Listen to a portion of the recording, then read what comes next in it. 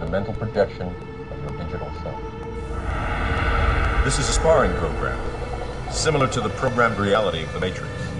It has the same basic rules, rules like gravity. What you must learn is that these rules are no different than the rules of a computer system. Some of them can be bended, others